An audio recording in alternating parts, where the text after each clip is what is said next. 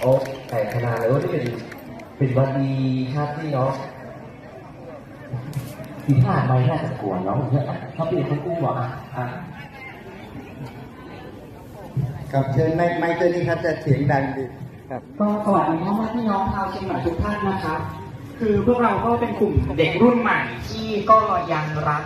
และศรัทธาในคุณพ่อทักษิณผมเองเกิดมาตั้งแต่เด็กเกิดมาคุณพ่อ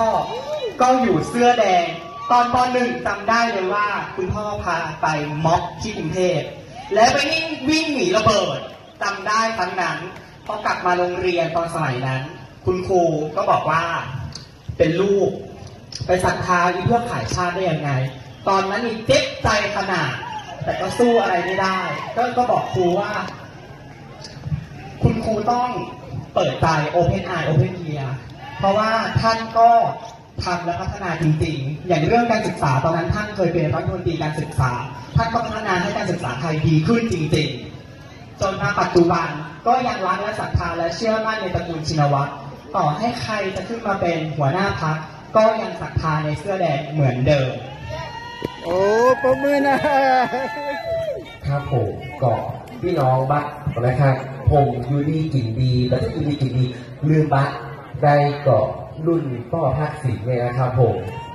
ผมจำได้เลยว่าเขาเคยเป็นเจ้าบ้านเขาเคยเป็นคนตุกเปิ้ลช่วยเฮามีกินมีใจแล้วเหรอครับพ่อแม่พี่น้องแล้วครับผมป้าเรียกว่าป้าน้องน่าจะควรเนาะเยาวชนรุ่นใหม่นะครับยากพ่อแม่พี่น้อง มองว่าเฮากับยังศรัทธาและงานของเปิ้ลนะครับ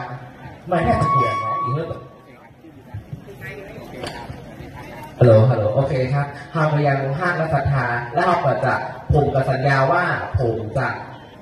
สื่อสารเจตนารมณ์เพื่อกับคนละอ่อนเจียงใหม่ และคนละอ่อนทั่วประเทศว่าผลงานที่ประเทศไทยได้อยู่ตัวันนี้เป็นของไทยนะครับผมเราจะมาเพื่อไทยมาแยกได้แน่นอนครับผม ขอเสียงปรบมืออ่อนไปนะครับ